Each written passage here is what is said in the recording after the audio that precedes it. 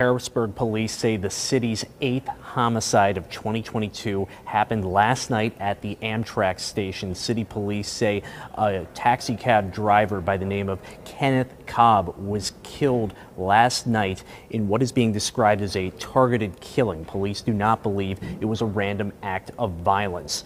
Police Commissioner Tom Carter said that this latest killing and the recent violence we've seen this year is inexcusable.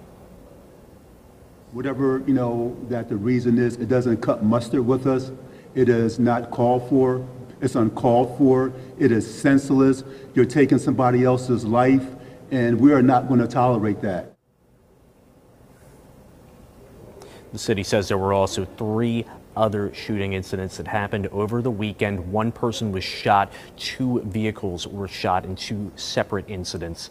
We'll have a lot more details on these recent incidents coming up later today here on WGAL, as well as one witness's description of what happened at the Amtrak station last night.